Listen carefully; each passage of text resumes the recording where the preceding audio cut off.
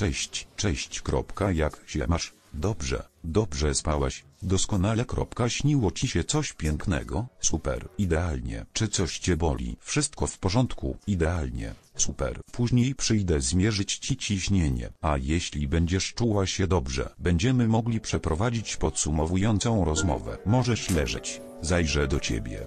Dziękuję. Z przyjemnością. Operacja przebiegła dobrze, wyciągnęliśmy 10 komórek jajowych.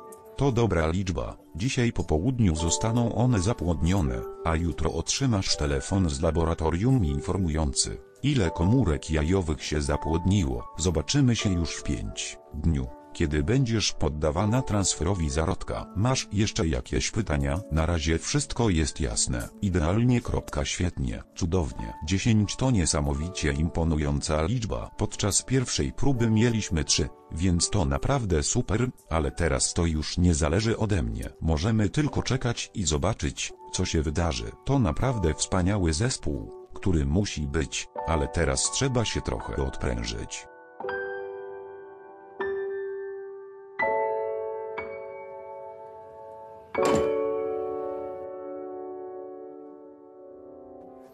Tak, czekanie jest jedną z najgorszych rzeczy, muszę przyznać. Myśli i obawy cały czas wypływają na powierzchnię świadomości.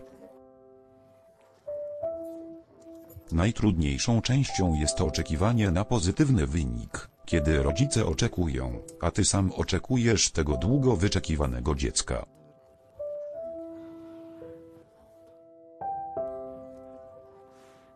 To najtrudniejszy czas. Mam te same uczucia co surogatka. Z jednej strony strach, bo martwię się, czy wszystko będzie dobrze przy porodzie, a z drugiej strony to radość w czystej postaci, bo to mój pierwszy maluszek.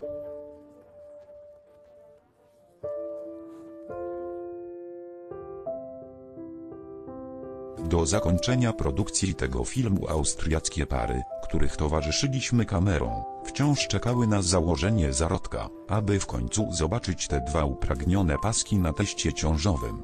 Uważam, że bardzo ważne jest rozmawianie o niezrealizowanej chęci posiadania dzieci.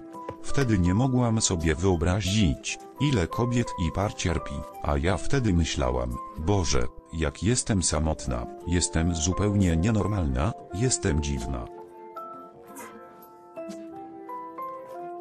Zawsze myślimy, że posiadanie dziecka to łatwe.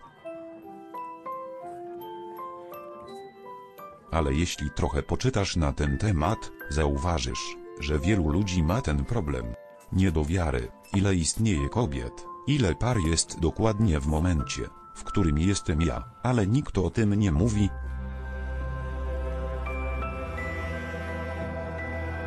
I to jest duży problem. Pary z klinik leczenia niepłodności, ich nie poznasz na ulicy, nie mają one znaku na czole, że jest tam klinika leczenia niepłodności. Jesteś jednym z wielu, to może być ktokolwiek, może to być twoja sąsiadka, która może ci o tym nie opowiadać, może to być twoja koleżanka z pracy, która często jest na zwolnieniu lekarskim. Nie widać tego na ludziach.